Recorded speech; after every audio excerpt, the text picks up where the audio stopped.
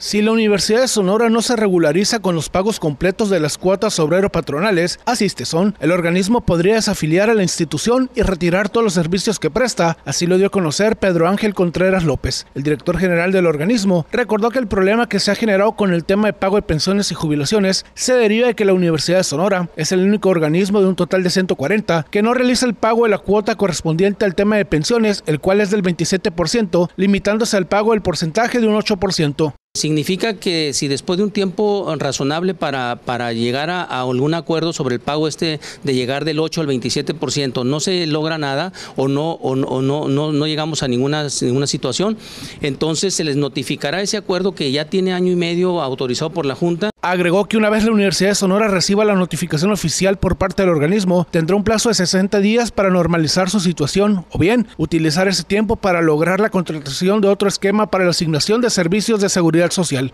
Durante 60 días se les seguirá dando el servicio y este para que ellos puedan buscar eh, comprar otro seguro, o sea, ya eh, con esto entendemos que no les interesa el seguro de Istezón, entonces el seguro médico de Istezón, entonces ellos tendrán 60 días, nosotros les seguiremos brindando el servicio de manera normal. Germán Contreras, Mega Noticias.